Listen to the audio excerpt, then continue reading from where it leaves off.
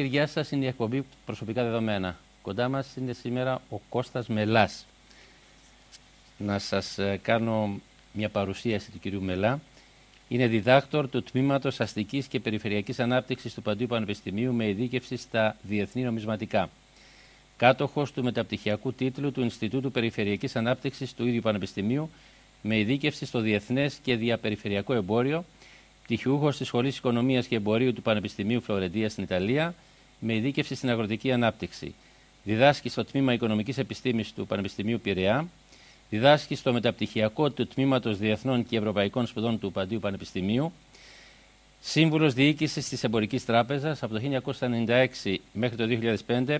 Διευθυντής του Επιμορφωτικού Τραπεζικού Ινστιτούτου, διδάσκοντας τα μαθήματα διεθνής τραπεζική, τραπεζική, χρηματοοικονομική, διοικητική και διεθνεί οικονομικές σχέσεις.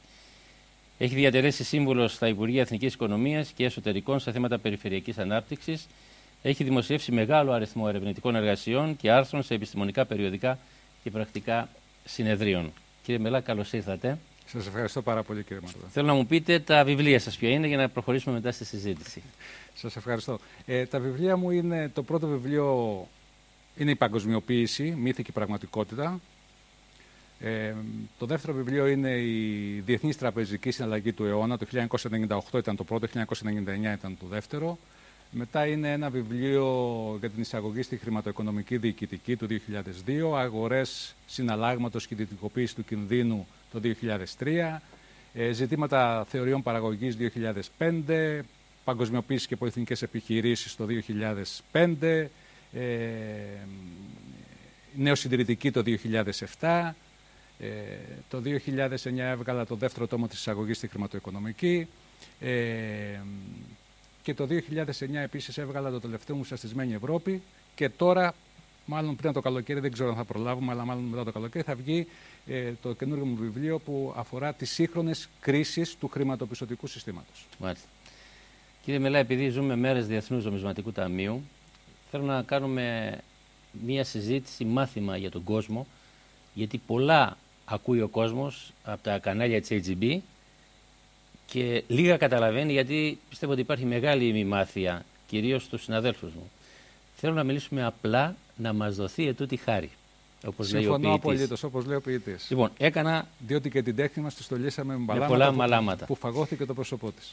Λοιπόν, ε, έκανα το μάθημά μου εδώ. Ρώτησα πάρα πολύ κόσμο στο δρόμο, στην παρέα, στις ταβέρνες, στα ταξί και έχω συγκεντρώσει μερικά ερωτήματα που πρέπει να πούμε στον κόσμο να απαντηθούν. Είμαι στη διάθεσή σας να ανταποκριθώ όσο μπορώ, βεβαίως. Μπορείτε. Λοιπόν, καταρχήν θέλω να πούμε τις ορολογίες. Τι σημαίνει spread, τι σημαίνει swap, τι σημαίνει CDC, τι σημαίνει δευτερογενής αγορά. Ποιοι είναι οι περίφημοι κερδοσκόποι, η ιστορία του χρέους.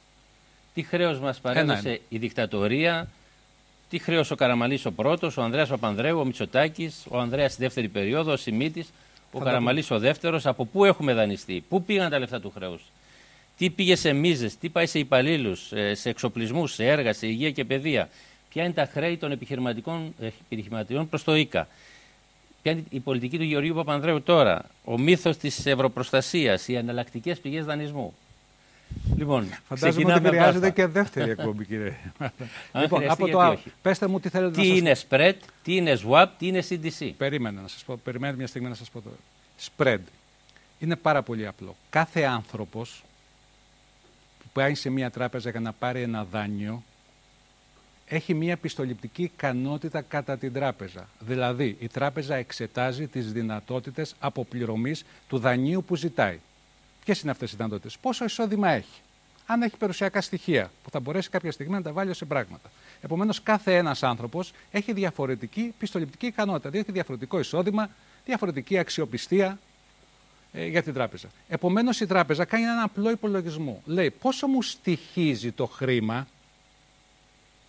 Το χρήμα της τράπεζας, όπως ξέρετε, προέρχεται από τις καταθέσεις, είτε το δανείζεται από άλλες τράπεζες, είτε από τη διατραπεζική αγορά η τράπεζα, μία απλή τράπεζα. Επομένως έχει ένα κόστος. Απάνω σε αυτό το κόστος βάζει και το κόστος το λειτουργικό. Τα ενίκια που πληρώνει, τα αναλώσιμα που καταναλώνει, τους μισθούς των υπαλλήλων κτλ. κτλ. Και βγάζει λοιπόν αυτό που λέμε κόστος για την τράπεζα. Κόστος τη τραπέζα. Πάνω λοιπόν σε αυτό το κόστος για την τράπεζα, κόστος χρήματος για την τράπεζα, προσθέτει ένα περιθώριο, ένα παραπάνω κομμάτι επιτοκίου, ανάλογα με την πιστοληπτική ικανότητα του καθένα από εμάς. Άρα λοιπόν αυτό είναι το spread. Το spread είναι το περιθώριο. Ο κύριος Μαρδάς έχει ένα εισόδημα X, που είναι πολύ ικανό να αποπληρώσει το δάνειο. Άρα δεν κινδυνεύουμε. Άρα στην ουσία το περιθώριο είναι ένα ασφάλιστρο κινδύνου για τον καθέναν από εμάς. Επομένως, λέει ο κ. Μαρδά, έχει ένα πολύ καλό εισόδημα. Άρα το, οι δυνατότητες να αποπληρώσει είναι μεγάλες. Άρα το ασφάλιστρο κινδύνου θα είναι μικρό. Έρχεται στον κύριο Μελά, δεν έχει μεγάλο εισόδημα. Έχει δημιουργήσει και ένα πιθανόν στο παρελθόν κάτι που έχει γραφτεί. Άρα δεν θα τα βγάλει πολύ. Δεν είμαστε απολύτως σίγουροι ότι μπορεί να αποπληρώσει. Άρα έχουμε μεγαλύτερο κίνδυνο. Άρα θα το βάλουμε μεγαλύτερο ασφάλιστρο. Για αυτός το ασφάλιστρο, δηλαδή η τράπεζα, υπολογίζει τον κίνδυνο που έχει κάθε ένας από εμά και μέσω αυτού του ασφαλίστρου καλύπτει την περίπτωση μη δυνατότητας αποπληρωμής του χρέους από καθέναν. Άρα στην ουσία το παιχνίδι η τράπεζα είναι καλυμμένη υπό μια έννοια αν πτωχεύσει ο πελάτης, αν ο πελάτης δεν μπορεί να αποπληρώσει. Αυτό είναι το spread. Αυτό είναι το spread. Το ίδιο γίνεται και με τα κράτη. Όπως έχει γίνει τώρα, προσέξτε, αυτό δεν συνέβαινε πάντοτε. Η συνθήκη του Μάστριχ, αφενός στην Ευρωπαϊκή Ένωση, αλλά πριν από την Ευρωπαϊκή Ένωση, το παγκόσμιο αρχιτεκτονικό χρηματοπιστωτικό σύστημα, η αρχιτεκτονική του χρηματοπιστωτικού συστήματος, έχει δημιουργήσει το εξής.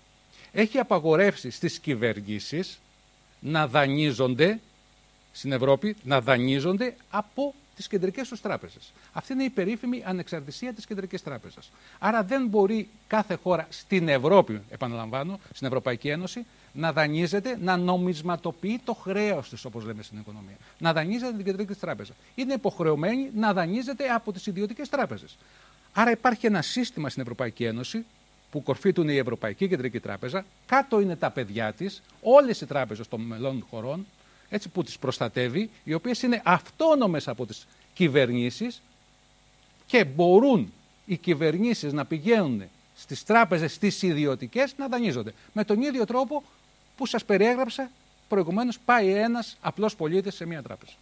Swap τι σημαίνει; Swap είναι ένα, παρα, ένα προϊόν χρηματο, χρηματο, χρηματοπιστωτικό προϊόν που δίνει τη δυνατότητα να, αντα, είναι, να πει ανταλλαγή. Δηλαδή, εάν παραδείγματος χάρη εγώ έχω, υπάρχουν πράγματα swaps πάρα πολλών ειδών. Interest rate swaps, swaps δηλαδή επιτοκίων, currency swaps, ε, ε, swaps, δηλαδή νομισμάτων. Τι σημαίνει αυτό το πράγμα; Εγώ έχω δανειστεί παραδείγματος χάρη σε δολάρια. Εσείς έχετε δανειστεί σε ευρώ. Για λόγους που δεν μας ενδιαφέρουν αυτή τη στιγμή, εσείς θεωρείτε ότι είναι καλύτερο να δανειστείτε αυτή τη στιγμή σε δολάρια, ενώ εγώ να δανειστώ σε ευρώ. Επομένως, γίνεται μια ανταλλαγή ανάμεσα στα δύο, στα δύο δάνεια που έχουμε πάρει εμείς, με συγκεκριμένους όρους, και ανταλλάσσουμε τα νομίσματα και ο καθένας από εμάς αναλαμβάνει να πληρώσει το επιτόκιο ή τις οφειλές του άλλου για ένα χρονικό διάστημα. Αυτό λέγεται είναι ένα απλή ανταλλαγή νομισμάτων. Αυτό μπορεί να γίνει σε επίπεδο επιτοκίων. Έχουμε δανειστεί στο ίδιο νόμισμα, εγώ και εσείς, αλλά εγώ έχω δανειστεί με ένα διαφορετικό επιτόκιο, εσείς σε ένα διαφορετικό άλλο επιτόκιο. Επομένως, με σταθερό επιτόκιο, εγώ παραδείγματος χάρη με κειμενόμενο εσείς. Δεν το κάνω πιο απλό, το καταλάβει ο κόσμος. Εσείς θεωρείτε ότι αυτή τη στιγμή σας συμφέρει να δανειστείτε με σταθερό, ενώ εγώ με κειμενόμενο. Αλλά κάνουμε μια ανταλλαγή. Υπάρχει δηλαδή μια σύμβαση που ανταλλάσσουμε. CDC, ασφάλιστρα κινδύνου. Ασφάλιστρα, κινδύνου. Ναι. Credit default swaps. Δηλαδή είναι ακριβώς τα ίδια χρηματοπιστωτικά προϊόντα που δίνουν τη δυνατότητα χρηματοπιστωτικά να ασφα... προϊόντα τι σημαίνει; Χρηματοπιστωτικά προϊόντα είναι αυτά. Σημαίνει τα... ένα δάνειο. Είναι, όχι, είναι προϊόντα τα οποία παράγουν οι τράπεζες. Δηλαδή; Τα οποία παράγουν οι τράπεζες. Αυτό το χρηματοπιστωτικό προϊόν είναι ένα προϊόν που αυτή τη στιγμή ε, εξασφαλίζει αυτόν που θα το αγοράσει. Παραδείγματος χάρη, εσείς έχετε ένα δάνειο. Ή μάλλον έχετε πάρει ένα ομόλογο. Από μένα που το έχω εκδώσει. Εγώ είμαι εκδότης του ομολόγου. Άρα εγώ είμαι αυτός ο οποίος δανείζει. Τι σημαίνει ομόλογο; Ομόλογο είναι μία σύμβαση ανάμεσα σε έναν, σε έναν ο οποίος εκδίδει το ομόλογο και σε μια σειρά ανθρώπους, τους οποίους λέει το εξής. Κύριοι, εγώ ονομάζομαι Μελάς Κώστας. Έχω αυτή την επιχείρηση. Σας καλώ να με δανείσετε αυτό το συγκεκριμένο ποσό. Άρα για αυτό είναι, το... ένα, είναι ένα πρόσκληση δανείου, ένα δάνειο Α, είναι το, το, το ομόλογο. Βεβαίως. Το ομόλογο. Με τη διαφορά ότι δεν περνάει μέσα από την τράπεζα, δεν είναι ένα τραπεζικό δάνειο, αλλά πηγαίνουμε κατευθείαν στην κοινωνία. Άρα χρειάζεται ο εκδότης να έχει ψηλή πιστοληπτική ικανότητα για να μπορέσετε εσείς να μου δώσετε τα χρήματά σας. Σας υπόσχομαι λοιπόν, είναι μια υποσχετική, ότι μετά από 10 χρόνια που θα λήξει το ομόλογο. Θα, θα πάρεις τόσα και επιπλέον αυτό. Θα σας δώσω το κεφαλαίο σας πίσω και κάθε χρόνο ή σε τακτά χρονικά διαστήματα θα σας δίνω ένα σταθερό κουπόνι. Το που λέμε το, το κομμερίδιο. Δηλαδή, παραδείγματος χάρη, αν δανειστούμε ας πούμε 1000 ευρώ και το επιτόκιο είναι 10%, το, το κομμερίδιο είναι 10%, κάθε χρόνο για 10 χρόνια θα σας δίνω 100 ευρώ. 100 ευρώ τον πρώτο, τον δεύτερο, τον τρίτο μέχρι τον δέκατο και τον δέκατο θα σας δώσω και τα 1000 σας ευρώ, που είναι η επιστροφή του κεφαλαίου. Αυτό είναι ένα ομόλογο. Όταν λοιπόν εσείς έχετε αυτό το ομόλογο, για να επανέλθουμε σε αυτό που ναι. λέγαμε, βγαίνει κάποιος και λέει Α, ο κ. Μελάς που το εξέδωσε κινδυνεύει να πτωχεύσει. Να μην πληρώσει το ομόλογο. Να μην δώσει πίσω τα λεφτά. Ούτε τους τόκους, ούτε τα, τα, το, το κεφάλαιο μετά από 10 χρόνια. Επομένως, εγώ που είμαι μια άλλη εταιρεία ασφαλιστική, παράγω ένα προϊόν που εξασφαλίζω αυτούς οι οποίους έχουν αγοράσει το ομόλογο του κυρίου Μελά και τους λέω ότι αν πέσει έξω το ομόλογο του κυρίου Μελά, εσείς θα έχετε δυνατότητα να πάρετε πίσω τα χρήματά σας. Το κακό με αυτά τα προϊόντα, όλα αυτά τα προϊόντα, τα παράγωγα προϊόντα, αυτά που, που στην ε, ε διεθνή ορολογία τα ξέρουμε ως derivatives, παράγωγα, είναι προϊόντα τα οποία δεν είναι αυτύπαρκτα, παράγονται, το λέει η ίδια λέξη. Επειδή υπάρχουν κάποια άλλα προϊόντα. Υπάρχουν ομόλογα, υπάρχουν μετοχές, υπάρχουν ε, εμπόρευμα. Αυτά όλα τα προϊόντα ξεκίνησαν και το περιγράφω στο ένα μου βιβλίο Αγορές Συναλλάγματος. Ξεκίνησαν ε, ως αντιστάθμιση του κινδύνου. Δηλαδή, όταν καταργήθηκε το Bretton Woods και οι συναλλαγματικές ισοτιμίες δεν μπορούσες, ήταν, είναι κειμενόμενε. Άρα το κράτος δεν μπορεί να σου εξασφαλίσει τις κειμενόμενες ισοτιμίες, την τιμή του συναλλάγματος, αυτομάτως όλοι μπήκαμε σε μια κοινωνία του ρίσκου που λέγαμε. Ο καθένας δηλαδή φέρει την ευθύνη για αυτά που κάνει. Για τις πράξεις του. Είτε αγοράζει ένα σπίτι, είτε αγοράζει ένα αυτοκίνητο, είτε αγοράζει ένα χρηματοπιστωτικό προϊόν. Αυτά λοιπόν τα προϊόντα ξεκίνησαν, βγήκαν διάφοροι και είπαν Α, πρέπει να σας προστατεύσουμε. Άρα ξεκίνησαν ως προϊόντα hedging, αντιστάθμισης κινδύνου. Αυτά λοιπόν τα, από εκεί που ξεκίνησαν για αντιστάθμιση κινδύνου, τι σημαίνει; Σημαίνει ότι έπρεπε να καλύψουν όταν υπήρχε υποκείμενος τίτλος, όταν υπήρχε δάνειο, όταν υπήρχε εμπόρευμα. Με την πρόοδο όμως, και έγιναν κερδοσκοπικά τελείως, όταν άρχισαν να πουλούνται και να βγαίνουν χωρίς να υπάρχει υποκείμενος τίτλος. Δηλαδή, χωρίς να υπάρχει να έχετε εσείς αγοράσει ομόλογο του κυρίου Μελά, χωρίς να έχετε πάρει δάνεια από την τράπεζα, χωρίς να έχετε εμπόρευμα να, να εξάγετε. Αυτό λοιπόν έγινε εντελώς κερδοσκοπία. Mm-hmm. Λοιπόν, ε, ερχόμαστε στην περίπτωση της Ελλάδας. Η Ελλάδα έχει εκδώσει ομόλογα, δηλαδή έχει πει θέλω λεφτά, Μάλιστα. δώστε μου και θα σας δώσω στην προοπτική αυτών των χρόνων αυτό το επιτόκιο. Το επιτόκιο, βεβαίως. Και έρχεται τώρα μια άλλη εταιρεία η τράπεζα, η λεγόμενη ε, οίκη αξιολόγησης. Μάλιστα. Και λένε, επειδή η Ελλάδα πάει για χρεοκοπία, Ακριβώς. εγώ σας ασφαλίζω από το επικίνδυνο ομόλογο της Ελλάδας. Η, πιστοληπ... η οίκη αξιολόγησης είναι αυτοί οι οίκοι οι οποίοι αξιολογούν την πιστοληπτική ικανότητα καταρχάς των χωρών. Όχι μόνο των χωρών, αλλά και των τραπεζών. Η αξιοπιστία, θα σας κάνω μια παρένθεση, μου επιτρέπετε, να πω την άποψή μου και θα την βάλω στη βάσανον όσων μας ακούν και στην κριτική τους, δεν υπάρχει αντικειμενική αξιολόγηση. Δεν υπάρχει αντικειμενικός αξιολογητής. Ο αξιολογητής, εάν θέλει να μην σου χορηγήσει το δάνειο ή να σου δημιουργήσει πρόβλημα, θα το καταφέρει. Από το πιο απλό τραπεζικό υπάλληλο μέχρι τους μεγάλους οίκους. Οι οίκοι, δηλαδή θέλω να πω ότι δεν υπάρχουν εξαντικειμένου αξιολογήσεις. Πάντα υπάρχει ένας έντονος υποκειμενισμός. Και, να το αποχωρήσω παραπέρα, πάντοτε υπάρχουν συμφέροντα διαπλεκόμενα. Δηλαδή αυτή η οίκη αξιολόγησης είναι λιγότερο αξιόπιστη από του οίκους ανοχής. Αυτό φαίνεται. με συγχωρείτε, η οίκη ανοχής είναι πάρα πολύ αξιόπιστη. Αυτό εννοώ. Να... Αλλά οι οίκοι αυτοί, οι οίκοι αυτοί εν της πράγμασης από την ιστορία τους έχουν αποδειχθεί, είναι αποδεδειγμένο ότι δεν είναι αξιόπιστοι. Mm -hmm. Διότι παραδείγματος χάρη έχουμε κρίσεις, η κρίση του 2007, αλλά όχι μόνο, η κρίση του 1997 των ανετικών χωρών. Το 1997. Ένα μήνα πριν, δύο μήνες πριν, αν πάρετε τι έλεγαν οι οίκοι αυτοί, αλλά και το Διεθνές Νομισματικό Ταμείο και η Παγκόσμια Τράπεζα τη εκτιμήσεις, θα καταλάβετε πόσο αξιόπιστη είναι αυτή η οίκη. Πάντως είναι τρελό να έρχεται μία εταιρεία, έτσι δεν είναι; Μάλιστα ή ένας που έχει πολλά λεφτά και παίζει και να λέει θεωρώ τα ομόλογα της Ελλάδας αναξιόπιστα, επικίνδυνα και εγώ σας ασφαλίζω. Αυτό δεν είναι με απλά λόγια. Ναι, τώρα βγαίνουν άλλοι οίκοι, να συνεχίσω. Βγαίνουν ναι. με άλλοι, άλλοι οίκοι οι οποίοι με βάση τις εκτιμήσεις των οίκων πιστοληπτικής ικανότητας, αξιολόγησης των χωρών, που είναι οι πέντε μεγάλες επενδυτικές τράπεζες, πέντε-έξι μεγάλες επενδυτικές τράπεζες, οι οποίες αγοράζουν και τα ομόλογα, μια μερίδα των ελληνικών ομολόγων, οι οποίες παράγουν και τα ασφάλιστρα κινδύνου, δηλαδή παράγουν τα, τα CDO, CDS. Δηλαδή αγοράζουν τα ομόλογα, δηλαδή τα δάνεια, τα ανταποκρίνονται στα δάνεια που ζητάει το ελληνικό κράτος και συγχρόνως, τα υπονομεύουν. Και συγχρόνως, και συγχρόνως παράγουν ασφάλιστρα που εμέσως τα υπονομεύουν. λοιπόν, είναι λίγο περίπλοκο το σύστημα από τη στιγμή. Κύριε Μαρτά, πρέπει να το κατανοήσουμε αυτό και εμείς. Ναι. Είναι, είναι περίπλοκο το σύστημα από τη στιγμή που δεν υπάρχει. Πώς να το πω, όχι ότι αυτό θα ήταν απολύτως αξιόπιστο, δεν υπάρχει ένας ε, πολυμερής διεθνής οργανισμός που να αναλαμβάνει την αξιολόγηση, που να έχει ας πούμε την αξιοπιστία, παραδείγματος χάρη η Ευρωπαϊκή Κεντρική Τράπεζα η Fed ή εν πάση περιπτώσει ένας άλλος δημόσιος δηλαδή, με τη δύναμη του χρήματος, αυτοί βγαίνουν και λένε αυτό το κράτος πάει κατά διαόλου και παίζουν με βεβαίως, την πορεία στην καταστροφή. Βεβαίως, βεβαίως, δεν κάνουν αξιολογήσεις στον αέρα. Γιατί φταίει και το κράτος, δηλαδή οι διαχειριστές αυτού του κράτους.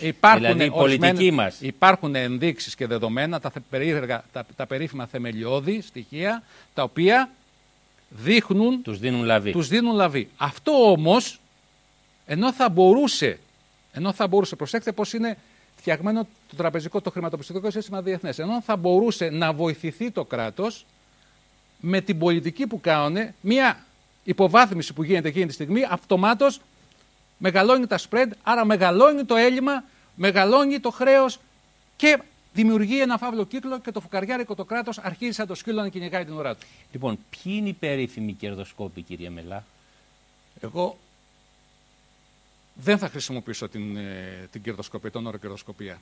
Θα, θα πω ότι αυτό το παράγει το χρηματοπιστωτικό σύστημα. Ξέρετε, στην αρχαία ελληνική και ε, στα ελληνικά υπάρχει μια πάρα πολύ ωραία λέξη, η κηδεία. Κηδεία. Από το κίδο, που σημαίνει φροντίζω. Ναι, κηδεία, όχι Α, κηδεία. κηδεία. Με Α, τη κηδεία της Ελλάδας θέλουν να κάνουν. Παρεμφερέ. Κηδεία. Ναι, με, ναι. β, με, β. με β. Αυτό σημαίνει κερδοσκοπό σκοπίμο. Δηλαδή παρανόμος. Υπάρχει και τέτοιο. Υπάρχουν και τέτοιες περιπτώσεις που πραγματικά υπάρχουν ε, inside information, δηλαδή υπάρχουν εσωτερικές πληροφορήσεις, χειραγωγήσεις, έχουν αποδειχθεί περίτρανα στην ιστορία των χρηματιστηρίων τα τελευταία 30 χρόνια, αλλά όχι μόνο τα τελευταία 30 χρόνια. Η Βαρόνι, παραδείγματος χάρη από το Ρότσιλντ, ε, ονομάζονται Λίστρο Βαρόνι, ο Χοσμπάουν τους ονομάζει, είναι, έχουν μείνει στην ιστορία γιατί χειραγωγούσαν τα χρηματιστήρια, χειραγωγούσαν τις αγορές. Αλλά πέρα από αυτό, υπάρχει χρηματοπιστωτική αγορά που είναι διαμορφωμένη με έναν τέτοιο τρόπο που δεν μπορεί να λειτουργήσει διαφορετικά. Αγορά σημαίνει κράτη που ζητούν δάνεια και εταιρείες που παρέχουν τα δάνεια. Και υπάρχει ένα δούνε λαβίν, έτσι. Προσέξτε, μην λέμε αγορές. Είναι το χρηματοπιστωτικό σύστημα. Δηλαδή τράπεζες, ναι. τράπεζες κανονικές, επενδυτικές τράπεζες και ε, εμπορικές τράπεζες, commercial και investment banks όπως λέμε, σκιώδη τραπεζικό σύστημα. Και το σκιώδης τραπεζικό σύστημα, αυτό που λέμε banks, non banks, διάφορες καταστάσεις που βγήκαν και ενώ παράγουν διάφορα προϊόντα, δεν είναι στην ουσία τράπεζες. Και επίσης έχουμε τους, τα περίφημα funds, τα αμοιβαία, τα, τα mutual ταμεία δηλαδή. Έτσι. Τα διάφορα ταμεία. Τα διάφορα ταμεία που, τα μπορεί, οποία... που μπορεί να είναι και ε, τα λεφτά ασφαλιστικών ταμείων. Έτσι. Σας το λέω. Συνταξιδοτικά ταμεία. Ναι. Αμοιβαία, κεφάλαια, αμοιβαία ταμεία. Ε, hedge fund. Αμοιβαία τι σημαίνει; Σύνολο αμοιβαία, κεφαλαίων, έτσι. Ναι, σύνολο κεφαλαίων. Που λειτουργούν με ένα συγκεκριμένο τρόπο. Ναι, ναι. Έτσι. Όλα αυτά τα διαχειρίζονται τα hedge fund, οι εταιρείες και οι τράπεζες που λέμε. Έτσι. Αυτά αυτές τώρα, προσέξτε, υπάρχουν 10 τράπεζες περίπου, θα σας ονομάσω αν θέλετε μετά. Ναι, θέλω να οι οποίες, οι οποίες έχουν κάνει μία, κατά να μου, ένα χρηματοπιστωτικό λιγοπόλιο. Αυτές συνδέονται με άλλες 20 μικρότερες τράπεζες που, τις, που τους ακολουθούν, που ακολουθούν αυτούς το, μονοπο, το ολιγοπόλιο, είναι leader αυτό το ολιγοπόλιο και οι άλλοι είναι ακολουθητές όπως λέμε στην οικονομία. Αυτές υπάρχουν τα hedge, τα funds, τα ταμεία που είπαμε, συνταξιοδοτικά, αμοιβαία, αντισταθμικά, equity funds, αυτά τα, τα, τα ιδιωτικής τοποθέτησης, τα οποία συνδέονται άμεσα με το χρηματοπιστωτικό σύστημα και αυτές λοιπόν όλο το σύστημα λειτουργεί με σκοπό την αποκόμιση, την απομίζηση όλων των ανθρώπων, των αγορών, των κρατών, με την σκοπό να αποκομίσει κέρδη. Θεμητά ή αθέμητα. Και θέλω να υπογραμμίσουμε ότι υπάρχουν τράπεζες που πουλούν και αγοράζουν λεφτά, έτσι δεν είναι; Και παράλληλα οι ίδιες τράπεζες κάνουν και αξιολόγηση, έτσι δεν είναι; Είναι συνδεδεμένες. Είναι συνδεδεμένες. Ή και αξιολόγηση προσέγγιση. Κοιτάξτε, η τράπεζα, σας έχω φέρει, έχω φέρει εδώ ε, Μπορούμε να πούμε ονομαστικά; Βεβαίως, βεβαίως. Γιατί. Ποιες είναι αυτές οι τράπεζες; Είναι γνωστό. Παραδείγματος χάρη, υπάρχουν πρώτα-πρώτα αυτές που κάνουν το μεγάλο παιχνίδι. Τα μεγάλα παιχνίδια είναι οι επενδυτικές τράπεζες. Τι είναι οι επενδυτικές τράπεζες, να εξηγήσουμε στον κόσμο. Μία τράπεζα η οποία είναι αυτή που λέμε κλασική τράπεζα ε, ε, commercial, πώς θα το πούμε. Εμπορική. Εμπορική, εμπορική τράπεζα. Ε, είναι μια τράπεζα η οποία παίρνει τα χρήματα από τους καταθέτες, και τα διοχετεύει από τις πλεονασματικές μονάδες, όπως λέμε στην νομισματική θεωρία, και τα διοχετεύει σε αυτούς που έχουν ανάγκη. Η βάση της δηλαδή είναι τα δάνεια μέσα από τα οποία αποκομίζει κέρδη κτλ. κτλ. Υπάρχει όμως και άλλη μια μερίδα η οποία αναπτύχθηκε τελευταία και παλαιότερα υπήρχε. Ένας λόγος που έγινε η κρίση του 29 είναι αυτές οι επενδυτικές τράπεζες. Είναι τράπεζες οι οποίες δεν κάνουν αυτή τη δουλειά μόνο, αλλά κάνουν, παίρνουν τα χρήματα και τα επενδύουν σε ομόλογα, σε μετοχές για δικό τους λογαριασμό ή για λογαριασμό διαφόρων άλλων πελατών που τους τα έχουν εμπιστευτεί. Άρα στην ουσία αυτές είναι τράπεζες οι οποίες δεν κάνουν την κλασική τραπεζική δουλειά, αλλά παίζουν, τοποθετούν χρήματα σε διάφορες επενδύσεις. Ωραία. Θα πούμε τώρα ονομαστικά μερικές που είπατε. Παραδείγματος χάρη, η πρώτη τράπεζα η οποία υπήρχε, υπάρχει αυτή τη στιγμή, ας πούμε, που είναι η μεγαλύτερη επενδυτική τράπεζα, είναι η Goldman Sachs. Δεύτερη τράπεζα είναι η Morgan, ε, η Morgan Stanley, η JP Morgan Chase and Company. Η τρίτη, παραδείγματος χάρη, να σας πω, είναι η, η Deutsche Bank. Υπάρχει άλλη, η Standard Poor's. Η Standard Poor's είναι, είναι 20 αξιολόγησης. Είναι 20 αξιολόγησης. Βεβαίως υπάρχουν. Η Societe Generale, η UBS, η Deutsche Bank, η BNP Paribas, η JP Morgan, η, η Mary Lynch, Αυτές είναι επενδυτικές βαριές τράπεζες. Εδώ έχω 50 τις 50 μεγαλύτερες mm-hmm. τράπεζες, αλλά δεν χρειάζεται να τι αναφέρουμε. Αυτές όμως που σας ανέφερα είναι επενδυτικές βαριές τράπεζες, οι οποίες καθορίζουν το πώς θα λειτουργήσουν οι χρηματοπιστωτικές λοιπόν, αγορές. Ακούμε. Έγινε, λέει, επίθεση των κερδοσκόπων στα, στην Ελλάδα. Τι σημαίνει με απλά λόγια; Σημαίνει με απλά λόγια το εξής. Όταν λέμε έγινε επίθεση στην Ελλάδα, η Ελλάδα, να σας εξηγήσω τι είπα να πει, επιτέθηκαν τα κεφάλαια σε, στην Ελλάδα ή στην Αγγλία. Στην... Η Ελλάδα υπόσχεται στις χρηματοπιστωτικές αγορές ότι θα τηρήσει κάτι. Παραδείγματος χάρη ότι το έλλειμμά της δεν θα υπερβεί το 3%. Ότι το δημόσιο χρέος δεν θα υπερβεί 10%. Όταν λοιπόν οι αγορές, οι χρηματοπιστωτικές αγορές, δεν μου αρέσει οι αγορές, οι χρηματοπιστωτικές αγορές. Οι καπιταλιστικές αγορές. Οι χρηματοπιστωτικές καπιταλισμό έχουμε. δεν ναι. Ο Καλ Μπρέιθ είπε ότι έφυγε ο καπιταλισμός στη δεκαετία του 30 διότι προκαλούσε φόβο στους ανθρώπους. Και από τότε εξαφανίστηκε και μιλάμε για αγορά. Βεβαίως είναι καπιταλιστική αγορά γιατί σε αυτό το σύστημα ζούμε. Αυτές λοιπόν οι αγορές, οι χρηματοπιστωτικές αγορές, όταν βλέπουν ότι η Ελλάδα υπόσχεται και αντιλαμβάνονται ότι η Ελλάδα δεν μπορεί να τηρήσει. Και προσέξτε, όλα τα πράγματα στην οικονομία, όπως όλα τα πράγματα στη ζωή μας, δεν είναι σήμερα στατικά, αλλά είναι προεξόφληση του μέλλοντος. Δεν είναι τι θα συμβεί σήμερα, τι έχει συμβεί στο παρελθόν. Αλλά είναι να προεξοφλήσουμε το μέλλον. Όταν λοιπόν λένε η, η Ελλάδα δεν θα μπορέσει να ανταποκριθεί στις υποχρεώσεις της, να κρατήσει το έλλειμμα 3% ή το χρέος 100% ή η ανταγωνιστικότητα των προϊόντων στο ισοζύγιο εξωτερικών συναλλαγών να μην έχει έλλειμμα 12%, αμέσως αρχίζουν και επιτίθονται. Αρχίζουν δηλαδή με διάφορους τρόπους, εξαρτάται. Με ποιους δηλαδή, τι σημαίνει επίθεση; Παραδείγματο χάρη, εάν η Ελλάδα ας πούμε δεν είχε σταθερή ισοτιμία στο ευρώ, ήτανε, είχε τετραχμή. Θα μπορούσαν λοιπόν να επιτεθούν σε δραχμή, να αρχίσουν να πουλάνε δραχμέ. Και να ρίξουν δραχμή, να ρίξουν τη συνταγματική ισοτιμία. Άρχισαν να πουλάνε δραχμέ, να πουλάνε. Στην προθεσμιακή αγορά η Ελλάδα έχει την ικανότητα μέσω της κεντρικής, είχε μέσω της κεντρικής τράπεζας να αγοράζει δραχμέ πουλώντας συνάλλαγμα. Το συνάλλαγμα που είχε στα αποθεματικά του. Είτε ήταν δολάρια. Τώρα είτε... που είμαστε στο ευρώ; Τώρα δεν μπορούν να μας επιτεθούν όσον αφορά τη συνταγματική ισοτιμία.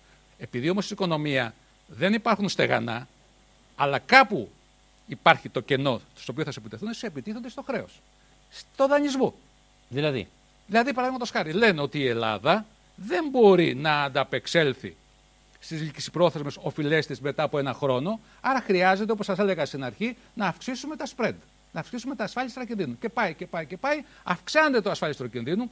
Κάνει αδύνατον στην Ελλάδα να δανειστεί, διότι αν δανειστεί με αυτό το υψηλό επιτόκιο, οι τόκοι θα είναι τεράστιοι. Δηλαδή, με απλά λόγια, μας κράζουν, να το πούμε λαϊκά. Έτσι. Πες το, το πώς Διαλαλούν ότι αυτή η χώρα Μα δεν είναι- θα είναι συνεπής. με αυτό που έχει υποσχεθεί. Το ίδιο κάνανε παραδείγματος χάρη με τη Μας Στερλίνα της- δυσφημούν στην αγορά, ας πούμε. Βεβαίως. Ή Βεβαίως. υπερτονίζουν, την Υπερτονίζουν. αδυναμία Και μας. προσέξτε, υπερτονίζουν, καθορίζουν, σπρώχνουν και χειραγωγούν προς μία κατεύθυνση όλοι μαζί. Όλοι μαζί. Και ξαφνικά όλες οι προσδοκίες που έχουν δημιουργηθεί στην αγορά, γιατί προσέξτε η αγορά, η καπιταλιστική αγορά, κάθε άνθρωπος που μπαίνει μέσα έχει διαφορετικές προσδοκίες. Άλλα πιστεύετε εσείς, άλλα πιστεύω εγώ, εκατομμύρια άνθρωποι. Αυτοί λοιπόν με τον τρόπο αυτό χειραγωγούν όλες τις προσδοκίες και τις πάνε στη μια μεριά, στην απεσιόδοξη. Δηλαδή, Αλλά όλοι είναι πουλάνε ένας τα άνθρωπος ο ομόλογα. οποίος σε τρεκλίζει, τον σπρώχνουν αυτοί και μετά του λένε για να σε σηκώσω, δώσ' μου τόσα. Ναι. Έτσι. Και φτάνω σε ένα σημείο, φτάνω σε ένα σημείο παραδείγματος χάρη, που δεν θα του δώσουν καμία, οπότε η Ελλάδα θα πτωχεύσει. Προσέχτε, υπάρχει το ερώτημα. Μα αυτοί θα χάσουν τα λεφτά τους. Προσέχτε. Δεν τους ενδιαφέρει. Είναι τόσο βραχυπρόθεσμο το παιχνίδι, διότι το χρηματοπιστωτικό σύστημα δεν διωγγώθηκε μόνο, κύριε Μαραδά, τα τελευταία 30 χρόνια ποσοτικά, αλλά χρηματιστηρικοποιήθηκε. Δηλαδή έλαβε τις μορφές του χρηματιστηρίου. Όλα τα προϊόντα που σας έλεγα προηγουμένως είναι χρηματιστηριακά προϊόντα. Κάθε μέρα αποτιμώνται. Είναι η λεγόμενη mark to market αποτίμηση, η οποία είναι ό,τι χειρότερο υπάρχει στον κόσμο. Mark to market. Κάθε μέρα αποτιμώνται. Άρα βραχυπρόθεσμα, αυτοί βλέπουν μόνο το βραχυπρόθεσμα. Δεν μπορούν να δουν αύριο. Τι συνέπειες έχει αυτό για την παγκόσμια οικονομία, αν μου, αν μου επιτρέπετε να κάνω μια παρένθεση; Ότι δεν μπορεί να γίνει κανένας στρατηγικός σχεδιασμός, μακροχρόνιος. Η ανάπτυξη είναι μακροχρόνια διαδικασία. Μια επένδυση πρέπει να μελετηθεί, να μπει στα χαρτιά, να αποδώσει μετά από δύο-τρία χρόνια. Ε, αυτό το πράγμα δεν γίνεται σήμερα. Γι' αυτό βρισκόμαστε σε μια κατάσταση κατά την οποία δεν υπάρχει καμία επιχειρηματική δραστηριότητα. Όλες οι επιχειρηματικές δραστηριότητες, να μην αναφέρω και στην Ελλάδα, γίνονται με σκοπό βραχυχρόνιο. Ένα χρόνο, δύο χρόνια και μετά να απολυθούν. Δηλαδή τι, να έχουν το χαρακτηριστικό της ρευστότητας, να είναι άμεσα ρευστοποιήσιμες. Τι σημαίνει αυτό, Δεν θα υπάρξει σταθερό κεφάλαιο ακινητοποιημένο, άρα δεν θα υπάρχει μεγάλη. Ρευστότητα Επένδυ- σημαίνει ζεστό χρήμα. Ρευστότητα σημαίνει να μπορεί να απολυθεί, να έχει εμπορευματικότητα, να είναι εμπορεύσιμη, να μπορεί να απολυθεί ανά πάσα στιγμή. Ένα εργοστάσιο που έχει ντουβάρια, μηχανήματα, πώς να απολυθεί; Πού να απολυθεί άμεσα; Και ποιο άλλο είναι που δεν μπορεί να απολυθεί; Εργαζόμενος. Γι' αυτό βλέπετε σιγά σιγά ότι πάμε σε μια κατάσταση που θα υπάρχουν ατομικές συμβάσεις, outsourcing, δηλαδή εργολαβιακές λειτουργίες. Σήμερα όλ, όλ, πολλές επιχειρήσεις στην Ελλάδα διάφορες λειτουργίες δεν τις κάνουν με, με υπαλλήλους, αλλά τις αναθέτουν σε επιχειρήσεις απ' έξω, φύλαξη, καθαρισμός κτλ. κτλ ε, λογισμικά. Το λεγόμενο outsourcing. Μάλιστα. Έτσι, Λοιπόν. Αυτό είναι για τους λόγους της ρευστότητας. Τώρα, Άρα- θέλω με δύο λόγια να πούμε για την ιστορία του χρέους. Ναι. Να σας πω. Ακούστε. Ποιες κυβερνήσεις χρέωσαν και ποιο ποσό. Θα ξεκινήσουμε από τη δικτατορία. Προσέξτε. Θα σας πω συνοπτικά για να μην κουράσουμε τους ανθρώπους που μας παρακολουθούν. Έτσι, το 1970 το χρέος της γενικής κυβέρνησης, το χρέος της γενικής κυβέρνησης, έτσι, ως ποσοστό του ΑΕΠ, τι σημαίνει. Σημαίνει τι χρέος είχε ο κρατικός προϋπολογισμός, ο προϋπολογισμός δημοσίων επενδύσεων συν οι τόκοι. Έτσι. Λοιπόν, αυτό το χρέος γενικής κυβέρνησης ήταν δεκα- το 1970, 18,1% του ΑΕΠ. Δηλαδή είχαμε 100 ΑΕΠ και χρωστάγαμε 18. Το 1980 Αυτή είναι μια λελογισμένη σχέση. εξαρτάται τώρα και συγκυριακά πώς είναι Ναι. όλη η κατάσταση. Έτσι. Είναι μια πάρα πολύ άριστη σχέση. Μάλιστα. Αλλά αυτό δεν σημαίνει τίποτα. Δεν σημαίνει και δεν Πρέπει σημαίνει να και το δούμε καταξίωση της περίοδου αυτής. Έτσι σε καμία εννοείται. περίπτωση. Αλλά απλώ Γιατί λένε η δικτατορία λέει είχε πλεόνασμα. Αυτό είναι αλήθεια; πλεόνασμα, αλλά είχε έλλειμμα σε άλλα, σε, σε άλλα οικονομικά, στους μισθούς. Ήταν πλεονασματικοί οι προπολογισμοί της Χούντας; Ήταν πλεονασματική, αλλά το θέμα είναι ότι δεν, δεν φτάνει αυτό. Ήταν Μπορεί η, να η έχεις- οικονομική πολιτική ενός Μπορεί να, στρατόνα. μπορεί, ενός να έχεις, στρατοπέδου. μπορεί να έχεις πλεόνασμα στο, στο, στο, στο ισοζύγιο, στο προπολογισμό σου, αλλά να έχεις έλλειμμα στους μισθούς. Να δίνεις μισθό 100 δραχμές ή 100 ευρώ. Ωραία. Μετά το 70. Το λοιπόν. 1980, 22,8. Ωραία. Όταν να, παραδε- να λέμε και τους πρωθυπουργούς που πέρασαν και τα Ράλης. κόμματα. Έτσι. Ράλης. Καραμαλής ο πρώτος. Καραμαλής και Ράλης. 22,8 το, χι- το 1980. Άρα το αύξησε σε Το σχέση με αυτό που 1981, παρέλαβε, έτσι. βεβαίως, το 1981 το, χιλια- που παρέδωσε ο, ο Γεώργιος Ράλης είχε 27,1%. Έτσι, προσέξτε. Το 1900, να σας πω το 1982, 83, 84, το 88 που ήταν η τελευταία κυβέρνηση του Παπανδρέου Γεω- α, α, Ναι, ναι. πριν. 88-89, εντάξει. 88-89 ήταν 62,4 το 88, 65,7 το 89. Είχαμε, Ποια, ποια κυβέρνηση ε, αύξησε υπερβολικά το χρέος; θα το δείτε μόνος σας, θα, θα βγει. Ναι, ναι. Από το 65 λοιπόν, από το 30, από το, από το 30 που είχαμε, πήγαμε στο 65. Το διπλασίασε η κυβέρνηση του Πασόκ. Αλλά το διπλασίασαν για πολύ συγκεκριμένους λόγους. Είχαμε μια τρομακτική αύξηση των μισθών. Των μισθών. Ναι, αλλά χρέωσε το, Χρέο- το κράτος το έκανε με μελλοντικά, έτσι χρέος. δεν είναι; Εδώ είναι μια, μια κριτική την οποία κάνω εγώ, ότι μπορούσε αυτό να το κάνει μέσω της φορολόγησης των πλουσίων. Αλλά τώρα δεν συζητάμε αυτά. Ναι. Είναι ένα άλλο Ωραία, θέμα. προχωρούμε για το- στην, ε, Λοιπόν, στην 1990, 1990 Μητσοτάκης, Κωνσταντίνος, 72,6, το παρέδωσε το 1993, 100,5. Το χρέος που επαρέδωσε ο Μητσοτάκης το 100,5 στην ουσία παρέμεινε από εκεί και πέρα μέχρι το 2007 γύρω στο 100%. Προσέξτε, το χρέος το μεγάλο έγινε από Ανδρέα Παπανδρέου και επί Κωνσταντίνου Μητσοτάκη από το 65 το πήγε στο 100, στο 100,5. Το 1994 ο- ο Ανδρέας Παπανδρέου το έκανε 98,5, 99,2, 100,1 το 96. Το παίρνει ο Σιμίτης το 96 101,6 και το παραδίδει το 2004 στο 98,6. Ενδιαμέσως το πάει στο 104, στο 102, στο 103. Το παίρνει λοιπόν ο, ο Κωνσταντίνος ε, Καραμαλής ο δεύτερος στο 100% το 100 στο 98,6 το 2004 και το παραδίδει το 2009, το 2009 γιατί στην ουσία στο 113,4. Ποιο είναι το μυστικό; Το μυστικό είναι το εξής. Ότι οι ελληνικές κυβερνήσεις από το 96 και μετά έχουμε ένα χρέος τα τελευταία 15 χρόνια που κυμαίνεται γύρω στο 100%.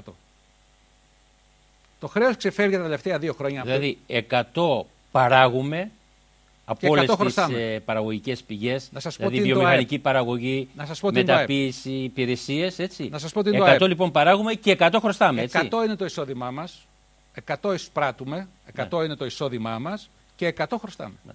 Τώρα, ε, θέλω να κάνετε τώρα μια αξιολόγηση και να ξαναθέτω το ερώτημά μου. Ποια κυβέρνηση υπερφούσκωσε το χρέος; Σας είπα ότι οι Αλλά κυβερνήσει. πρέπει να πούμε και αν υπήρχε και λόγος. Γιατί μπορεί να υπάρχει λόγος για το χρέος. Οι κυβερνήσεις, οι κυβερνήσεις του Ανδρέα Παπανδρέου, η πρώτη κυβέρνηση του Ανδρέα Παπανδρέου από το 81 μέχρι το 85. Εκεί του έδωσε και κατάλαβε. Έτσι, διότι έδωσε πραγματικά έδωσε μια αύξηση στους μισθούς, στις συντάξεις. Όποιος δούλευε τότε, εγώ δούλευα και Ναι. θυμάμαι πάρα πολύ. Ένα, εγώ θυμάμαι από το ρεπορτάζ, καταρχήν έδωσε την πρώτη χρονιά αύξηση παραπάνω από ό,τι είχαν ζητήσει οι συνδικαλιστικές οργανώσεις. Δεν νομίζω ότι αυτό το πράγμα είναι ορθολογιστική πολιτική. Ναι, δεν είναι ορθολογιστική Δηλαδή, πολιτική, υποσκάπτεις αλλά μελωδικά προσέξτε, όπως γράφω και στη Σασισμένη Ευρώπη, την ήταν μια οικονομία. προσπάθεια, ήταν μια προσπάθεια κενζιανής πολιτικής, δηλαδή να αυξήσεις τη ζήτηση Ναι, αλλά η ζήτηση, και μέσω της ζήτησης να αυξηθεί το ΑΕΠ και η η ανάπτυξη. ζήτηση πήγε στα εισαι- σε εισαγόμενα προϊόντα. Προσέξτε, πήγε σε εισαγόμενα προϊόντα, διότι εκείνη τη στιγμή άλλαζε Μάλιστα. όλο Ωραία. το υπόδειγμα στην Ευρώπη. Άλλος λοιπόν πρωθυπουργός που το Μητσοτάκης. φούσκωσε. Ο Μητσοτάκης. Κωνσταντίνος Μητσοτάκης. Κωνσταντίνος Μητσοτάκης. Και μετά όλοι Μήπως, γιατί λέει ο Μητσοτάκης ότι ήταν και τα προηγούμενα και τα που προηγούμενα φορτώθηκε χρέη. από τον Ανδρέα. Βεβαίως, τα και προηγου- επιτόκια. και τα προηγούμενα χρέη ήταν, Τα- τα αλλά χρέη. στην ουσία από το 65, από το 65, 70, ε, 65% το πήγε στο 103. Πόσο τα Άλλος, άλλος. Κωνσταντίνος Καραμαλής Βου. Ο Β. Εκείνος του, του έδωσε μια πολύ δυνατή. Από το 2007, Ναι. από το 2007, αν σας διαβάσω τα στοιχεία, από το 2007 υπάρχει στους προϋπολογισμούς ένας, ένα κονδύλι που λέγεται βραχυπρόθεσμο χρέος που αφορά σε έντοκα γραμμάτια του δημοσίου, τριμήνα, εξάμηνα και ε, τήσια, έτσι, τα οποία κάνουν μια, ένα τρομακτικό άλμα. Από 8 πάνε 27, 24, 25 τον επόμενο χρόνο του 2008. Αυτό είναι το μεγαλύτερο άλμα των τελευταίων Αυτό ξέρω εγώ, 20-30 ετών. Αυτό είναι, προσέξτε, αυτό είναι το, τε- ένα, ένα, ένα μεγάλο άλμα, διότι είναι μεγάλο άλμα ως ποσότητα. Δικαιολογείται αυτό το άλμα για λόγους κοινωνικούς, ε, εξωτερικούς, ε, δεν ξέρω τι. Όχι, δεν δικαιολόγητο. Είναι αδικαιολόγητο. Και εδώ πρέπει να μελετήσουμε προσεκτικά για ποιον λόγο αυξήθηκε αυτό το χρέος. Ακόμα και σήμερα δεν είμαστε σε θέση να κατανοήσουμε πού πήγανε αυτά τα χρήματα από το 2007, 2008, 2009. Βεβαίως και τα προηγούμενα. Μήπως ήταν χρέη της Ολυμπιάδας; Αυτό είναι ένα στοιχείο το οποίο επίσης πρέπει να το. Πόσο κόστησε αυτή η περίφημη δόξα των 20 ημερών; Η κυρία Υπουργός της Νέας Δημοκρατίας, κυρία πάλι Πετραλιά, είχε πει ότι κόστησε γύρω στα 14 δισεκατομμύρια. Α υποθέσουμε ότι είναι το 1 τρίτο αυτό το 14. Δηλαδή περίπου 40 δισεκατομμύρια υπολογίζει ότι κόστησε αυτό το πράγμα. Και συνέβαλε πάρα πολύ στην αύξηση του δημοσίου χρέους. Κανένας δεν μπορεί ακόμα να τα μελετήσει αυτά τα στοιχεία. Κανένας δεν μπορεί συγκεκριμένα να ψάξει να βρει αυτά τα στοιχεία. Μάλιστα. Εν τω μεταξύ το χρέος, επειδή μας λένε για τον κρατικό προπολογισμό, ο κρατικός προπολογισμό δεν, δεν αυξάνει μόνο το χρέος στο έλλειμμα του κράτους, αυξάνει και τα ελλείμματα υπέρ τρίτων. Παραδείγματος χάρη, δάνεια προς τις τράπεζες, αύξηση το μετοχικό, το, εκεί που έχει συμμετοχή το κράτος σε διάφορες τράπεζες, τα ασφαλιστικά ταμεία, τα ελλείμματα του ΙΚΑ. Υπάρχουν τεράστια κονδυλιά. Δυστυχώς πρέπει να κάνουμε μία μόνο εκπομπή ναι, ναι. για να μιλήσουμε για το χρέος. Τώρα, Αλλά προσέχτε. Πού το... πήγαν τα λεφτά του χρέους, θέλω να, να ξαναμιλήσουμε γι' αυτό. Ή πού πάνε τα λεφτά κατέτο του κράτους. Δηλαδή, πόσα πάνε για υπαλλήλους, πόσα πάνε για τους εξοπλισμούς, πόσα πάνε για δημόσια έργα, για υγεία, παιδεία και ασφάλιση. Ενδεικτικά. Αυτά, ενδεικτικά. Παραδείγματο χάρη, οι δημόσιοι υπάλληλοι, οι, οι αμοιβές μόνο των δημοσίων υπαλλήλων, προσέξτε, τα, τα έσοδα του ελληνικού δημοσίου το 2009 ήταν περίπου 55 με 56 δις ευρώ το 2009. Από αυτά τα 26 με 27 είναι δημόσιοι υπάλληλοι. Είναι δαπάνες, μισθοί, μισθοί και συντάξεις. Μισθοί και συντάξεις. Τα υπόλοιπα είναι αναλώσιμα του κράτους, ενίκεια κτλ. κτλ. Ένα μεγάλο κονδύλι είναι η τόκη ένα μεγάλο κονδύλι είναι η τόκη, είναι περίπου το 4,5 με 5%, δηλαδή γύρω στα 13 με 14 δισεκατομμύρια και επίσης ένα μεγάλο κονδύλι είναι τα χρεολύσια τα οποία πρέπει να πληρώνουμε. Χρεολύσια είναι όταν λύγουμε ομόλογα και τα οποία πρέπει, όπως σας εξηγήσαμε στην αρχή, όταν λύγει το ομόλογο πρέπει να επιστρέψουμε το κεφάλαιο, τα οποία πρέπει να, να πληρώσουμε. Το, το ελληνικό δημόσιο δανείστηκε το 2009 με τα τελευταία στοιχεία απολογιστικά 78, τραπέζι Ελλάδος με την έκθεση που είχε προχθές, γύρω στα 78,5 δισεκατομμύρια ευρώ. Λοιπόν, όλα αυτά τα χρήματα βεβαίως πήγανε για μισθούς δημοσίων υπαλλήλων, πήγανε για τα ασφαλιστικά ταμεία, ε, πήγανε για τα δημόσια έργα, πήγανε για όπου θέλετε ένα μεγάλο κομμάτι από αυτά για αμυντικές δαπάνες. Προσέξτε το, μου είπατε για τις αμυντικές δαπάνες. Οι αμυντικές δαπάνες υπολογίζεται ότι περίπου κυμαίνονται όλες μαζί με τους μισθούς, κυμαίνονται γύρω στο 3,5% του ΑΕΠ ανά έτος. Εξ αυτών οι, οι δαπάνες για τα όπλα, όχι του μισθούς, πρέπει να είναι 1,3 του ΑΕΠ. 1,5 από εκεί κάπου εκεί περίπου. Να είναι το ΑΕΠ. Τι τι ποσό δηλαδή, ή ποσοστό; Ναι. πηγαίνει στους επιχειρηματίες με κίνητρα, με φοροαπαλλαγές. Τι κομμάτι δηλαδή κάθε χρόνο πηγαίνει στο κεφάλαιο για να κάνει επενδύσεις. Αυτό τώρα δεν μπορούμε να το. Περίπου. Παραδείγματος χάρη, μπορώ να σας πω μόνο για αυτά τα 28 δι. Ναι. Τα 28 δις που έβγαλε, έβγαλε το ελληνικό δημόσιο για να σώσει το τραπεζικό σύστημα, επιβάρυναν το χρέος κατά 2,5 ποσοστιαίες μονάδες κατά 2,5 ποσοστιαίες μονάδες επιβάρυναν το δημόσιο χρέος. Αυτό το τελευταίο που έγινε. Τώρα, μιλάτε για, την, για τις φοροελαφρύνσεις. Αυτό τώρα δεν μπορούμε να το κάνουμε γιατί εξαρτάται την οικονομική πολιτική. Δηλαδή πρέπει να βάλουμε ένα όριο και να πούμε οι φόροι πρέπει να ήταν τόσοι για να μπορέσουμε να κάνουμε εκτιμήσεις. Εκείνο που μπορούμε να κάνουμε εκτιμήσεις είναι ότι υπάρχει παραοικονομία, γύρω στο 30% του ΑΕΠ, υπολογίζεται. Όταν λέμε παραοικονομία, εισοδήματα που δεν δηλώνονται, προσέχτε, και που, αφορά, δεν εμφανίζονται. Αφορά από τους μεγάλους μέχρι και τους μικρούς, όλους μας, έτσι δεν είναι; Αφορά κατά κύριον λόγων μεγάλους, αλλά όπως ξέρουμε όλοι μας, και εδώ δεν μπορεί κανένας να μου φέρει αντίρρηση, ο υδραυλικός που έρχεται να σου φτιάξει κάποιο σπίτι, συγγνώμη που μιλάω για τους υδραυλικούς ή οποιοδήποτε άλλος, ηλεκτρολόγος, δεν ξέρω εγώ ποιος, δεν θα σου δώσει ποτέ μια. Ανοίγει και αυτός μια τρύπα. Ανοίγει και μια μικρούλα τρυπούλα. Στον προπολογισμό. Ναι, μια μικρούλα τρυπούλα έτσι στην. Ε, ε, αυτό λοιπόν είναι στην παραοικονομία. Μετά υπάρχει η φοροδιαφυγή. Η φοροδιαφυγή είναι τα εισοδήματα τα οποία υπάρχουν και δεν δηλώνονται. Τα βλέπουμε και δεν δηλώνονται. Μετά υπάρχει φόρο. Αυτή υπολογίζεται ότι είναι γύρω στα 30 δις. Αλλά δεν σημαίνει ότι αυτά μπορούμε να τα πιάσουμε. Διότι πολλές επιχειρήσεις έχουν κλείσει. Ε, δεν υπάρχουν πια. Ε, υπολογίζεται ότι μπορούν να πιάσουν γύρω στα 4 με 5 δις. Αλλά χρειάζεται εισπρακτικό μηχανισμό. Υπάρχει όμως ένα πάρα πολύ ιδιαίτερο χαρακτηριστικό στην ελληνική οικονομία που δεν υπάρχει στις άλλες ευρωπαϊκές χώρες. Ποιο είναι, κύριε Μαρτά, είναι ότι υπάρχουν πάρα πολλοί αυτοαπασχολούμενοι. Η Ελλάδα είναι μια χώρα που 40 με 45% είναι αυτοαπασχολούμενοι. Τι σημαίνει αυτό; Σημαίνει ότι έχουν τη δυνατότητα αντικειμενικά να φοροδιαφεύγουν. Ενώ στις άλλες χώρε. Έχουμε και μια πλατιά και ισχυρή μεσαία τάξη. Βεβαίως. Μικρομεσαία δεν έλεγα αυτή. Ε, ενώ στις άλλες χώρες η μισθωτή είναι το 90%. Άρα αμέσως τους φορολογείς στην πηγή. Το υπόλοιπο 10 ή 8 ή 7 είναι άστι φοροδιαφεύγει. Είναι ελάχιστο ποσοστό. Ενώ έχουμε 50%. Με καταλάβατε. Άρα είναι εξ αντικειμένου μια ιδιαίτερη οικονομία στην Ελλάδα που δίνει τη. Αυτό δεν σημαίνει ότι πρέπει, αλλά δυστυχώς ναι. έτσι γίνεται. Τώρα, ε, αυτά τα μέτρα που έλαβε η κυβέρνηση Παπανδρέου είναι κοινωνικά δίκαια επιμερισμένα; Δηλαδή, Ποια μέτρα λέτε, αυτά που επέβαλε το Διεθνές Νομισματικό Ταμείο. Το Διεθνές Νομισματικό Ταμείο. Ε, κοινωνικά, είναι κοινωνικά αναλογικά αυτά που κόβει από τους μισθωτούς και τους συνταξιούχους και αυτά που πρέπει να επιμεριστούν θεωρητικά, γιατί δεν επιμερίστηκαν, στους ε, ισχυρούς κεφαλαιούχους. Δηλαδή, τι προσφέρει σε αυτή τη δύσκολη στιγμή το μεγάλο κεφάλαιο και, και τι προσφέρει η εργατική τάξη; Ακούστε. Το Διεθνές Νομισματικό Ταμείο έχει μια ιδεολογική κατεύθυνση στο μυαλό του. Είναι ιδεολογικά προσανατολισμένο.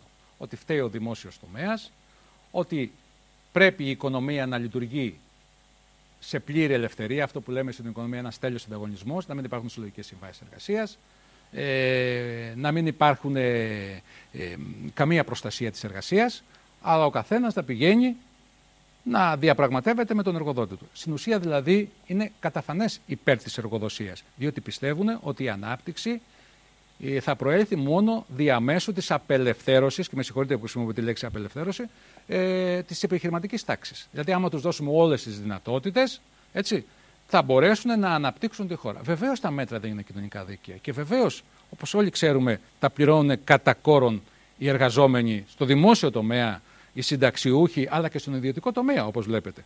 Διότι και ο 13ος μικρός μισθός θα κοπεί, ο 14ος μισθός θα γίνει ε, θα πάρει τη μορφή του μπόνους κτλ. Να μην λέμε τώρα όλες αυτές τις πληροφορίες.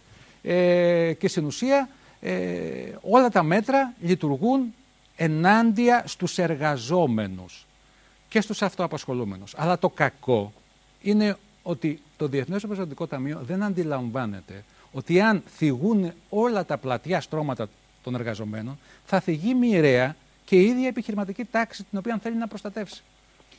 Υπάρχουν κέρδη στους επιχειρηματίες και στις τράπεζες που αν εφορολογούντο θα μας απέτρεπε από την ένταξή μας στο Διεθνές Νομισματικό Ταμείο; Ακούστε, σαφέστατα.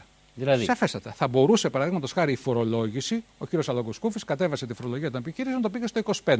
Ή δεν φορολογούσε τα μερίσματα. Θυμόσαστε τι έλεγε ο Γιώργος Παπανδρέου, ο νυν πρωθυπουργός πριν, ότι πρέπει να φορολογήσουμε τα μερίσματα. Όσα από τα κέρδη δεν πάνε σε επιμερισμό, αλλά πάνε στα ίδια κεφάλαια για νέες επενδύσεις, δεν θα τα φορολογήσουμε γιατί πάνε στην ανάπτυξη. Η προηγούμενη κυβέρνηση ήταν σαφέστατα ταξική υπέρ του κεφαλαίου. Η κυβέρνηση Κωνσταντίνου Καραμαλή, αλόγω σκούφι. Σαφέστατα, δεν υπάρχει καμία περίπτωση. Σαφέστατα ταξική και συγχρόνως, ενώ έκανε αυτά τα οποία έκανε υπέρ του κεφαλαίου, συγχρόνως έκανε τεράστιες πελατειακές σχέσει με απίστευτες προσλήψεις στο δημόσιο τομέα. Απίστευτες προσλήψεις στο δημόσιο τομέα, τον οποίο τον διόγκωσε συν τη σπατάλη των χρημάτων σε σειρά επιτροπών, τα οποία έχουν βγει σιγά σιγά. Ατέλειωτη σπατάλη. Λοιπόν, όλα αυτά τα πράγματα δημιούργησαν αυτή την κρίση στην οποία βρεθήκαμε. Εάν το κράτος μπορούσε να εθνικοποιήσει για μια χρονιά όλα τα κέρδη των μεγάλων επιχειρήσεων, θα μπορούσε να λυθεί το πρόβλημα έστω βραχυπρόθεσμα του χρέους. Γιατί τάξη μεγέθους μιλάμε κερδών; Μιλάμε τώρα για τις εισηγμένες στο χρηματιστήριο επιχειρήσεις. Για τις εισηγμένες επιχειρήσεις. Τώρα δεν είμαι... Πόσα, είναι 500 δις ας πούμε; Αυτή τη χρονιά είναι πολύ πιο λίγα. Ναι. Θα μπορούσε παραδείγματος χάρη να κάνει μια φορολόγηση σε αυτά τα πράγματα, μια έντονη φορολόγηση ή μια συμμετοχή. Έκανε μια συμμετοχή. αυτό, αυτό που προτείνω εγώ είναι λίγο τσάβες, έτσι. Ναι. Δηλαδή ναι, μια χρονιά οι Ναι. μεγάλες επιχειρήσεις να δώσουν τα κέρδη τους στο δημόσιο ταμείο. Εν ονόματι της διάσωσης της πατρίδας. Και επειδή οι περισσότεροι επιχειρηματίες, οι πε- όλοι μάλλον λένε ότι είναι χριστιανοί, εν ονόματι λοιπόν του χριστιανικού δόγματος, της αλληλεγγύης το και, της ίδιο- αγάπης. το ίδιο θα μπορούσε Θα μου να πεις, κα- αυτό είναι πολύ αφιλές ίσως. Ωραία, ας το, ας το πούμε όμως με Δυστυχώς- κοινωνικούς όρους. Ναι, δυστυχώς κύριε Μπαρδά, ζούμε σε μια κοινωνία η οποία είναι όπως είπατε καπιταλιστική. Και εσεί το Καταρχήν, είπατε. νομικά μπορεί να γίνει. Μπορεί δηλαδή το κράτος να πει αυτή τη χρονιά Δεν είμαι νομικός, αλλά θα, φαντάζομαι. θα αφαιρέσετε, θα κρατήσετε τα λειτουργικά σας έξοδα, θα πει στους επιχειρηματίες, θα κρατήσετε ένα λογικό κέρδος για τις προσωπικές σας δαπάνες και ό,τι περισσέψει για μια χρονιά, Τα μερίσματα, ας πούμε. μάλιστα, θα, Θα δοθούν μπορούσε- στο δημόσιο θα ταμείο. μπορούσε να το κάνει, Δηλαδή, γιατί γιατί, κόβει ας πούμε τη μισή Σας είπα- σας σύνταξη είπα και ενός φτωχού Σας και είπα. αυτό που προτείνω εγώ θεωρείται ακραίο. Ναι, Ας πούμε, θεωρείται γιατί και κάποιοι ακραίο- τώρα που με θεωρείται- ακούνε θα πούνε μα τι λέει αυτός; Θεωρείται ακραίος προς το σύστημα. Α, μπράβο. Θα μπορούσε όμως με μια συζήτηση ή και χωρίς συζήτηση, φτάνει να υπήρχε κάποιος Τσάβες. Βλέπετε εσείς να υπάρχει κάποιο Τσάβες έστω και για ένα χρόνο. Παρότι δεν είμαι φύλλα προσκύμενος με, την, ε, με τον Τσάβες, όχι για λόγους ε, ιδεολογικούς, αλλά για λόγους συγκεκριμένης συμπεριφοράς. Ε, Είναι και συνάδελφός μου, ε, διότι έχει και μια εκπομπή που λέγεται Γεια σου Πρόεδρε. την οποία ε, μεταδίδει από περιοχή σε Μό- περιοχή. μόνος. Βγαίνει ο κόσμος στον αέρα και απαντάει ο ίδιος. Θα Εντάξει, μπορούσε- εκεί είναι ένα μείγμα, θα έλεγα, προσωπικού αυταρχισμού με ένα ριζοσπαστισμό που αντιστοιχεί στα ιωθότητα της Λατινικής Αμερικής. Ωραία. Αλλά αυτό το είναι μια άλλη κουβέντα. Το τώρα. είπατε πολύ σωστά. Αντιστοιχείς Έτσι. στα ιωθότητα της Λατινικής Αμερικής. Εδώ είμαστε Ευρώπη, είναι τελείως διαφορετικά τα πράγματα. Ναι. Θα μπορούσαν όμως να συμμετάσχουν σε αυτούς. Ο... Ακριβώς αυτό λοιπόν θέλω να πω. Αλλά το Διεθνές Νομισματικό Ταμείο, προσέχετε, το Διεθνές Νομισματικό δεν Ταμείο. του βλέπει καθόλου Δεν τους βλέπει σαν καθόλου. παράγοντες διάσωσης της χώρας. Διότι Έτσι; είναι οι νικητές. Είναι αυτοί οι οποίοι καθορίζουν το παιχνίδι. Διότι εγώ πιστεύω ότι πολλοί επιχειρηματίες μεγάλοι θα διέθεταν ένα μεγάλο ποσό για τη διάσωση της χώρας. Να σας πω κάτι, Και κύριε για Μάνο. λόγους συναισθηματικούς και για λόγους ταξικούς και για λόγους έτσι, παράδοσης. Ωραία. Να κάνουμε λοιπόν μια κυβέρνηση που να απαιτήσει, τουλάχιστον να συζητήσει καταρχάς και κατά δεύτερο λόγο να απαιτήσει ε, από τους ε, επιχειρηματίες ε, να δώσουν Και όχι ένα αυτό το μέρος των γελίο κερδών. ταμείο του κυρίου Προέδρου της Βουλής όπου πήρε λεφτά από τα παιδάκια που έσπασαν τον κουμπαρά τους. Συμφωνώ. Φαντάζεστε αυτή την εικόνα στο εξωτερικό, αυτό το πλάνο. Τα δύο παιδιά να σπάνε τον κουμπαρά τους και να δίνουν τα λεφτά για να σωθεί η Ελλάδα; Δηλαδή τι πιο αντιεπικοινωνιακό. Είναι τρομερό, δηλαδή ποιοι άνθρωποι μας κυβερνούν και δεν λέω μόνο για αυτούς. Συμφωνώ- σημερινούς, συμφωνώ Αλλά απολύτως. για τους και Να- για όλους τους προηγούμενους. Συμφωνώ απολύτως. Να επανέλθω όμω σε αυτό το που είπατε προηγουμένως για, το, για, το, για την επιχειρηματική τάξη. Η αιχμή του δόρατος της ελληνικής οικονομίας είναι η ναυτιλία. Είδατε να γίνεται τίποτα από τη μεριά των εφοπλιστών; Για τη διάσωση της πατρίδος; Παίρνει ένας μεγάλο, ένα, ένα, ένα μεγάλο ερώτημα. Τελικά η επιχειρηματική τάξη της Ελλάδος έχει αίσθημα εθνικό; Κατά την άποψή μου δεν έχει. Δεν έχει όχι τώρα, δεν είχε ποτέ της. Έτσι. Δεν υπήρχε αυτό που ονομάζεται εθνική αστική τάξη σε άλλες χώρες. Δεν υπήρξε στην Ελλάδα. Να μην πάμε τώρα σε αναλύσεις ιστορικές. Λοιπόν, με δύο λόγια, γιατί δεν μας μένει πολύς χρόνος, ε, θέλω να, πω, το- να σας ρωτήσω το εξής. Ε, ο Γιώργος Τελείωσε Παπανδρέου- ο χρόνος κιόλας. Έχουμε ακόμη, έχουμε ακόμη. Ο Γιώργος Παπανδρέου αποδίθηκε σε ένα τιτάνιο αγώνα, σε ένα μαραθώνιο ε, για να ε, βρει εναλλακτικές πηγές δανεισμού α, από τη Μόσχα στο Βερολίνο, από το Βερολίνο στο Παρίσι, από το Παρίσι στην, ε, στο Λευκό Οίκο. Έτσι δεν είναι, έκανε τρεις φορές το γύρο της γης. Στον κύριο του κόσμου. Ναι. Αυ- 660.000 μίλια έκανε με το αεροπλάνο του. Αυτό είχε αποτέλεσμα πρακτικό, δηλαδή έπεσαν τα spreads, ε, συνετίστηκαν οι κερδοσκόποι, οι εταιρείες αυτές που είπαμε. Έχω γράψει ένα άρθρο που λέγεται Όδιν εν όρος και έτεκεν μην. Θα το λέω. Καταρχάς, ο κύριος Πρωθυπουργός γύρισε τον κόσμο ζητώντας και συζητώντας δεν ξέρω εγώ τι, αλλά μη ζητώντας αυτό που έπρεπε να ζητήσει. Τι έπρεπε να Έλεγε, ζητήσει; διαλαλούσε παντού, και το ξέρετε, ότι δεν έχουμε ανάγκη από χρήματα. Θέλουμε πολιτική στήριξη. Ακόμα και στους Ευρωπαίους. Εντάξει, αυτό φαντάζομαι, ήξερε ο Παπανδρέου, ήξερε από την αρχή τι γίνεται στην οικονομία, δεν υπάρχει περίπτωση. Αλλά φαντάζομαι ότι προσπαθούσε και αυτός τμηματικά να κερδίσει χρόνο, να περάσει τον κόσμο τα σκληρά Ο χρόνος, μέτρα. αυτό είναι το λάθος. Ο ήταν χρόνος λάθος είναι τελικά, ε. αμήλικτος. Ο χρόνος είναι Δηλαδή αμήλικτος στην οικονομία. μπορούσε ε, από τις αρχές του Οκτωβρίου να επιβάλλει αυτά τα μέτρα; Δεν μπορούμε να το αποδείξουμε. Θα, μπορούσε, θα κέρδιζε κάτι παραπάνω; μπορούσε να επιβάλλει ορισμένα μέτρα, να πει την αλήθεια καταρχάς στον ελληνικό λαό και κατά δεύτερο λόγο να συζητήσει μια σειρά από μέτρα που μπορούσαν να επιβληθούν. Δεν ξέρω αν θα επιτύχαιναν. Αλλά θα μπορούσε ήδη από τότε να γίνεται μια προσπάθεια προς αυτή την κατεύθυνση. Γιατί πολλοί μας λένε Τώρα, φτάσαμε σε αυτή την κατάσταση. Υπάρχει άλλο, άλλη διέξοδος. Τι να απαντήσουμε; Ποιος να απαντήσει τώρα αυτή, σε αυτό το πράγμα, να πει τι, τι άλλη διέξοδος; Όλοι αυτοί οι άνθρωποι που βγαίνουν στους δρόμους, τι άλλο, να φύγει το Διεθνές Νομισματικό Ταμείο, να φύγει η Ευρωπαϊκή Ένωση, να κάνουμε. Τι να κάνουμε, στην ουσία δεν μπορούμε να κάνουμε απολύτως τίποτα. Αυτό είναι η ουσία. Όταν φτάνεις, όταν φτάνεις στο τέλος, δεν έχεις επιλογές. Δηλαδή η καταστροφή έχει επέλθει, έτσι; Νομίζω ότι η καταστροφή έχει επέλθει, βεβαίως. Υπάρχουν εναλλακτικές πηγές δανεισμού, υπήρχαν; Φαντάζομαι πως ναι. Με χαμηλό επιτόκιο. Φαντάζομαι πως ναι. Πού, από πού δηλαδή; Παραδείγματος χάρη μπορούσαν να, να δανειστούν από την Κίνα. Η Αυτό θα είχε πολιτικές αραβικα... επιπτώσεις. Ακούστε. Δηλαδή θα μας λέγανε οι Ευρωπαίοι, εντάξει, παιδιά, πηγαίνετε με την Κίνα για χαρά. Ακούστε. Λίγα λόγια με εμάς. Πιθανό να είχαν και επιπτώσεις. Αλλά όταν εσύ τα κανονίζεις με έναν όμορφο τρόπο, χωρίς να το διαλαλείς, δεν το κάνεις να δανειστείς από την Κίνα με την Goldman Sachs που σου έχει δημιουργήσει όλα τα προβλήματα. Το κάνεις με άλλους τρόπους, μυστικούς τρόπους και πολύ όμορφα και δανείζεσαι ένα συγκεκριμένο ποσό. Αυτό δεν σημαίνει ότι δημιουργείς προβλήματα στην Ευρωπαϊκή Ένωση ή στο Αμερικάνικο στρατόπεδο. Διότι προσέχετε, οι Κινέζοι είναι πάρα πολύ προσεκτικοί. Έχουν τα το 4, το 4 και το Θεό το Θεό. Όπου είναι οι Αμερικάνοι κατά συμβαίνοντα δεν, προεμβα... δεν, δεν παρεμβαίνουν. Και, και αυτοί μετά τον Τέξ Xiaoping είναι καπιταλιστές με τη δικτατορία ναι, του Κομμουνιστικού Κόμματος. Ναι, αλλά δεν παρεμβαίνουν. Όπου αισθάνονται ότι οι Αμερικάνοι το απαγορεύουν, δεν θα επέμβουν. Παραδείγματος χάρη, είχα την εντύπωση ότι το λιμάνι που θα πάρουν που πήγαν στον Πειραιά δεν ήταν γνώση της Αμερικής των ΗΠΑ. Ότι η, Αμερική, η Κίνα δηλαδή κάνει μια πολιτική ανεξάρτητα μεγάλη δύναμη. Είναι δυνατόν να κάνει, εδώ ένα, μια οικονομική βάση στο πιο στρατηγικό λιμάνι της Μεσογείου και να μην είναι ενήμεροι Αμερικανοί; προσέξτε, σε μια χώρα που κακώς λέμε χώρα που ανήκει στην περιφέρεια του δυτικού κόσμου. Είναι στο κέντρο, στον πυρήνα. Από το 1952 είμαστε στο ΝΑΤΟ, κύριε Μαρδά. Διότι η Δύση δεν είναι οικονομία. Είναι ΝΑΤΟ. Σχέσεις αμυντικές και στρατιωτικές. Επειδή έχω μελετήσει το ρόλο των Αμερικανικών βάσεων στην Ελλάδα σε σχέση με τη Μέση Ανατολή, για τους Αμερικάνους εδώ δεν είναι χώρος επενδύσεων. Περισσότερο είναι χώρος βάσεων για να ελέγχουν τον δρόμο προς τον παράδεισο των πετρελαίων. Παραδείγματος η βάση της Σούδας θεωρείται η πιο. Είναι ένα αμερικανικό ένα... στρατιωτικό κρατήδιο. Στρατηγικό σημείο στρατηγικότατο σημείο για τον έλεγχο των δύο. Εγώ δεν δηλαδή- είμαι στρατηγικός αναλυτής, αλλά από ό,τι ακούω και διαβάζω είναι πολύ στρατηγικό. Άρα μπορούσαμε ακόμα και σε αυτό το σημείο να παίξουμε ορισμένα ανταλλάγματα. Εγώ κάνω μία ανάγνωση στην εξής και θα φανεί παράξενο και σε εσάς και σε. Εγώ διαβάζω τον κόσμο ως Δύση. Η Δύση είναι οι Ηνωμένες Πολιτείες, η Ευρώπη, η Ιαπωνία, η Αυστραλία. Ο αγγλοσαξονικός κόσμος και η Κεντρική Ευρώπη και η Ιαπωνία. Οι ηγεμόνε είναι οι Ηνωμένες Πολιτείες. Από κάτω είναι η Ευρώπη, η Ιαπωνία κτλ. Το ερώτημα είναι το εξής.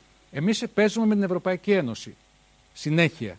Μήπως ορισμένες στιγμές με ανταλλάγματα, γιατί δεν μπορεί να σωθεί η χώρα, και θα φανεί παράξενο σε πολλούς που θα το ακούσουν όλο αυτό, μήπως θα έπρεπε να παίξουμε με τον ηγεμόνα; Είναι αυτό που είπατε προηγουμένως.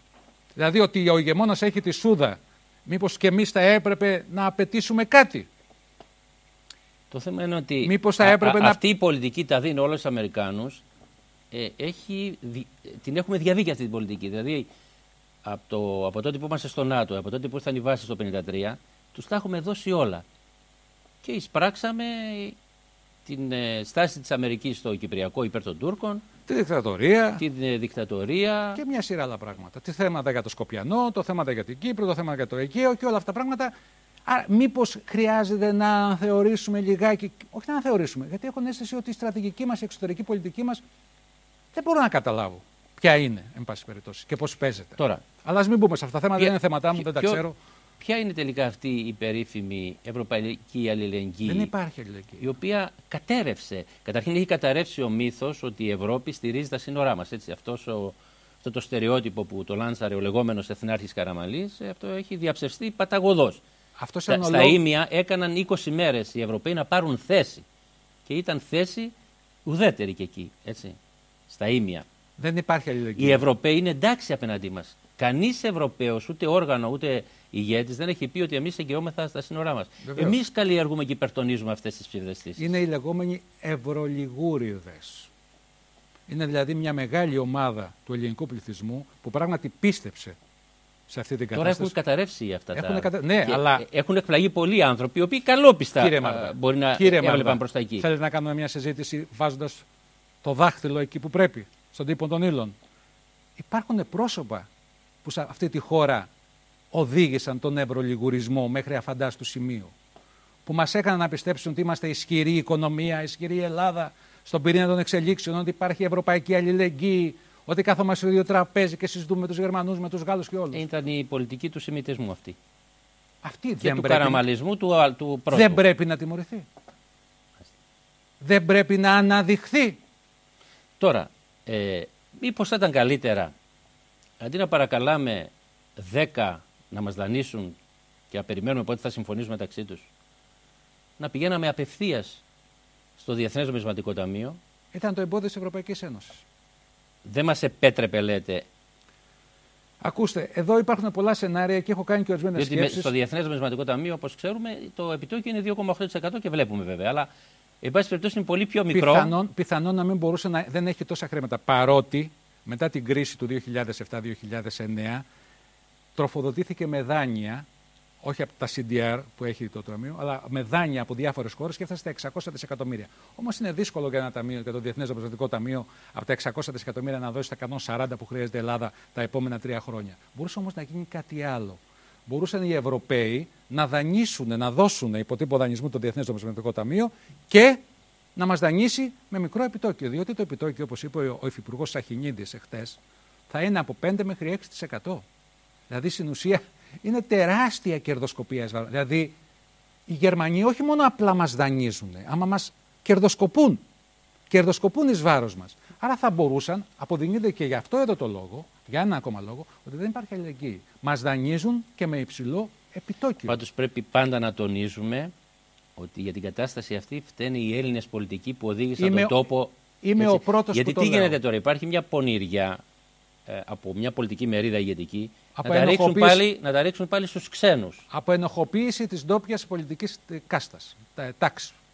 Βλέ- Είμαι ο πρώτος ο οποίος λέω ότι σήμερα, αν πρέπει να υπάρχει ένα αίτημα, το δημοκρατικό λαό, στην αριστερά, στους δημοκράτες, σε όποιον εν πάση περιπτώσει αισθάνεται Η δεξιά δεν είναι προδομένος και δημοκράτες. δεξιά, και δεξιά, στο δημοκρατικό λαό είπα. Μάλιστα. Έβαλα την αριστερά ιδιαίτερα για ιδεολογικούς, αν θέλετε, λόγους. Για το, το δημοκρατικό λαό να βάλει ένα αίτημα αλλαγής αυτού του πολιτικού σκηνικού. Τι να γίνουν νέα κόμματα; Γιατί είσαστε σίγουρος ότι αν προχωρήσουν αυτά τα μέτρα θα υπάρξουν αυτά τα κόμματα; Εγώ δεν ξέρω, δεν είμαι προφήτης πώς θα πάνε οι εξελίξεις, αλλά είμαι πάρα πολύ σίγουρος ότι αυτά τα κόμματα δεν θα υπάρξουν. Δεν θα Έχετε, υπάρξουν. έχετε σκεφτεί το σενάριο παρά αυτά τα βάρβαρα α, κοινωνικά μέτρα να αποτύχει αυτό το τριετές πρόγραμμα; Μα είναι βέβαιο ότι θα αποτύχει. Αυτό είναι. Είναι βέβαιο ότι θα Τρομερό. αποτύχει με την έννοια πια. Εξαρτάται ποιος είναι ο στόχος. Προσέξτε κύριε Μαρτά. Ο στόχος του προγράμματος. Ο στόχος του προγράμματος είναι απλός. Ένας. Να μειωθεί η ευημερία, η αγοραστική δύναμη των Ελλήνων κατά 30%. Γιατί 30%? Διότι τόσο είναι η χαμένη ανταγωνιστικότητα. Μάλιστα. Τόσο είναι η χαμένη ανταγωνιστικότητα. Άρα αυτό είναι ο στόχος. Τώρα, παράλληλα με αυτό, μας καλούν ότι πρέπει να μειώσουμε τους μισθούς και, τα, και τις συντάξεις, ώστε να έχουμε μείωση της αγοραστικής δύναμης και συγχρόνως μας καλούν να μειώσουμε, να είμαστε εντάξει στις υποχρεώσεις μας ως προς την απόσβεση του χρέους. Εκεί θα αποτύχουμε. Διότι θα πέφτει το εισόδημά μας. Όταν πέφτει το εισόδημά σου, πώς θα μαζέψεις χρήματα να αποπληρώσεις το χρέος; Τόσο απλά. Δηλαδή κύριε Μελά, αντίο παλιά Ελλάδα, Ο φίλος μου ο Κωνσταντίνος Τσουκαλάς, στο βήμα της Κυριακής, έγραψε ένα άρθρο, το οποίο, άμα το διαβάσετε, λέει, του το είπε, ε, λέει πα- απλά ένα πράγμα. Ξέρετε τι λέει; Καλημέρα κανονικέ καπιταλισμέ. Η Ελλάδα για πρώτη φορά θα αρχίσει να εισέρχεται στον καπιταλισμό. Μάλιστα. Τώρα, πείτε μου δύο λόγια για τον εαυτό σας. Είστε παντρεμένος, Είμαι παντρεμένος, έχω δύο παιδιά, το Γιάννη και την Άντα. Ο Γιάννης είναι 27 χρονών, είναι μ, αναλογιστής, στατιστικός αναλογιστής. Η Άντα είναι αρχιτέκτονας. Ε, η σύζυγός σας; η σύζυγός μου είναι συνταξιούχος, ε, τραπεζικός, ε, Κατάγεστε από την Πάτρα; κατάγομαι από την Πάτρα. Ε, Και το χόμπι σας ποιο είναι; το χόμπι μου είναι το σκάκι, είναι να περπατάω λιγάκι αν όποτε μπορώ και να βλέπω πάρα πολύ φίλους και να ανταλλάσσω απόψεις. Μ' αρέσει πάρα πάρα πολύ η συζήτηση. Και ένα άλλο χόμπι που έχω που το είχα από μικρό όταν πήγαινα στο σχολείο, να κάθομαι και να παρατηρώ τους ανθρώπους. Να κάθομαι στην πλατεία και να περνάει ο κόσμος και να το παρατηρώ. Και η ποίηση. Η πίεση δεν είναι χόμπι. Είναι βιωματικό. Έχετε γράψει το πλανόγραμμα, έτσι; Ναι. Έχω γράψει το πλανόγραμμα. Ναι. Και θέλω να τελειώσουμε, μου διαβάσετε ένα κομμάτι που είναι από την πίεσή σας. Ευχαριστώ. Το έχω βάλει στο βιβλίο. Κάποτε θα έρθει ο καιρός που θα γυρίσουν τα μέσα έξω, που το κοίταγμα του ματιού θα κατέβει στα αιώνια σκαλοπάτια του πόθου, θολό ποτάμι ζωή βγαίνει σε θάλασσες σκοτεινές όταν χειμωνιάζει. Σύγνεφα πάνω στην πολιτεία, θα βρέξει. Θα βρέξει να γιομίσουν οι στέρνες. Οι μάγοι τροχίζουν τα εργαλεία της μαγείας τους να γιομίσουν οι άδειες ψυχές, να πρασινίσουν τα δάση, να φουντώσουν τα χορτάρια στα παρτέρια, να διοικηθούμε για τη ζωή μας όταν έπιασε η καταιγίδα. Θολό ποτάμι λέγεται το χωριό μου στοιχείο, έτσι. Πολύ ωραία. Ευχαριστώ πολύ. Εγώ σας ευχαριστώ. Κυρίες και κύριοι, ήταν ο Κώστας Μελάς, καθηγητής Πανεπιστημίου. Ευχαριστούμε που μας παρακολουθήσατε. Γεια σας. Έρχονται χρόνια δύσκολα γεμάτα καταιγίδες